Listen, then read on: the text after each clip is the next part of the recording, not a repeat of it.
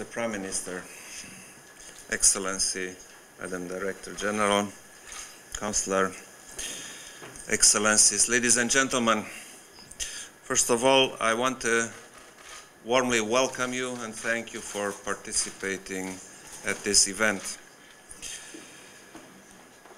Let me confess that every opportunity to speak about young people and education is very rewarding for me. For many years, I have been a teacher and I worked as a teacher. I still am a teacher. I'm working as the president of my country. And when I was a teacher, it gave me great pleasure to work for and with my students. As president of Romania, I try to use that expertise in all my actions, since I believe that in some way politicians should not just act as a decision maker, but also as a facilitator of common learning and knowledge building. The countries represented here today share the same vision for the future we all try to steer our countries towards stability, prosperity, and sustainable development. Education for peace is the keystone of our common vision for the future of our countries and also for the future of the world. I am glad that more and more leaders have become increasingly engaged in promoting inclusive and quality education for all which is the essence of education for peace. How can we address the challenge of lack of access to education for more than 263 million of kids around the world? What should we do for the almost 22 million children of primary school age and almost 15 million adolescents of lower secondary school age who are out of school in conflict-affected countries, as underlined by the latest Global Education Monitoring Report. How can we join our efforts in order to achieve the Sustainable Development Goals and give a chance to our kids for a better tomorrow? This roundtable should enable us to highlight good practices, lessons learned, and the crucial issues relating to the subject at hand, promoting peace for education, making education for peace.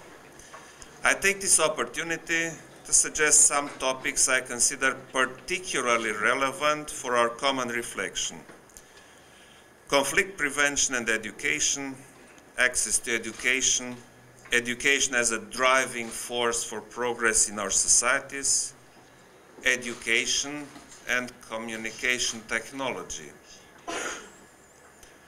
First, any broad vision of conflict prevention should include education for peace. In recent years, we have lived the grim reality of increased radical violence and propaganda targeting young people. Preventing radicalization is most effective when we educate our children to understand and respect diversity in a climate of human rights and dignity. It is my strong belief that young people should be actors of peace. They should be supported and encouraged to be curious, to learn from the past, practice tolerance, to avoid cliches, to understand that diversity is a treasure, to fight for their rights while being aware and respectful of other people's rights.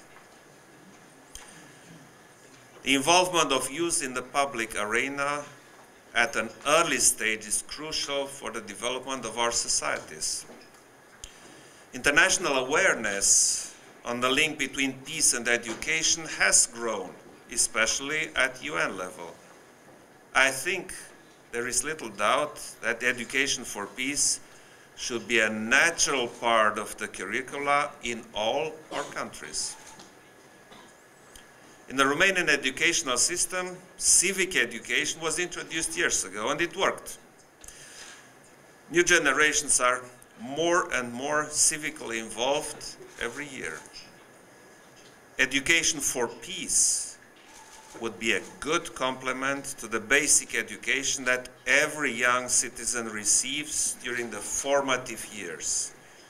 Education for peace is, in fact, education for the next generation to have a better life.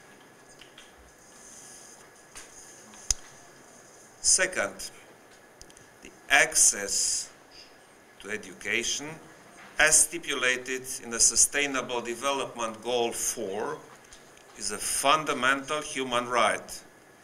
It falls on us, leaders all over the world, to make sure that this fundamental right is respected for every child wherever he or she is born.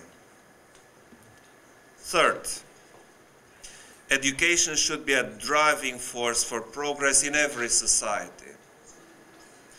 In Romania, we started to put the youth at the center of public policies and the development process through various initi in, uh, initiatives. Such initiatives as the Youth Capital of Romania or Educated Romania, which are developed under my patronage or at my initiative, have the potential to become a catalyst for transformation.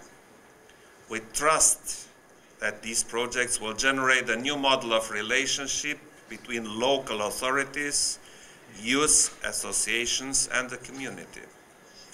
In my view, society can only progress if we see learning as a continuous process supported for people of all ages, but specifically for the young generations.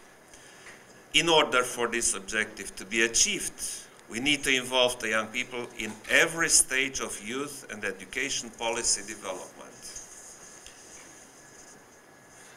This is why I initiated a national project called Educated Romania, Romania Educată, which aims to develop a long-term national vision and strategy for education and research for the years till 2030. Last year, we had over 40 public events in which we discussed the way forward all over Romania. More than half of these events were organized by students or youth NGOs. This only proves the interest and ability of young people to contribute to a better society. The impact of education on economic development is well documented in the context of knowledge societies. Creative industries, products with high added value, and the service sector are depending on the quality of public education. Clearly, a vibrant economy significantly reduces the risk of conflict. It increases the chance of peaceful, prosperous societies. Therefore, we should once more commit towards adequately financed education in order to ensure the access of all social categories to quality education programs. One of the conclusions of the Educated Romania project was that redesigning the way teachers are trained and supported is crucial for their performance and the overall quality of the education systems.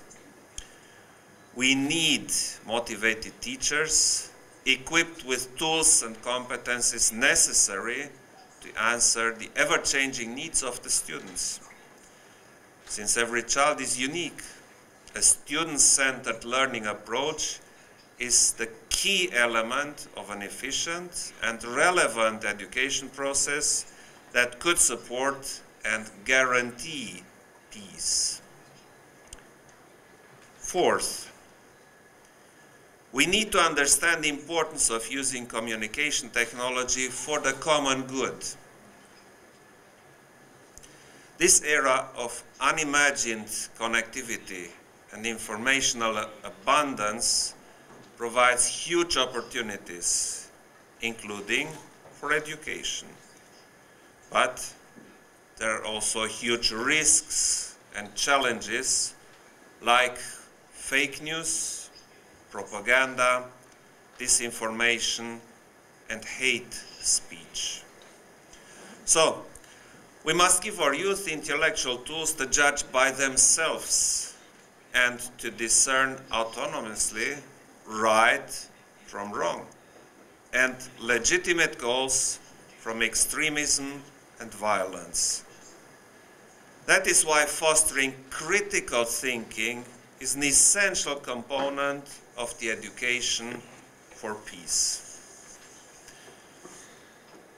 Ladies and gentlemen, I am convinced that our dialogue will provide a clearer image of the specific challenges and the best ways to tackle them. I also hope that our debate will provide consistent input for the relevant UN bodies with special focus on UNESCO and UN University.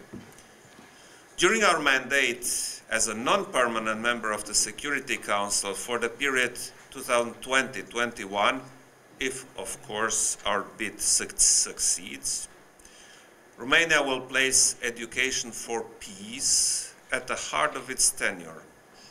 In this respect, we are ready to initiate new projects in cooperation with like-minded partners.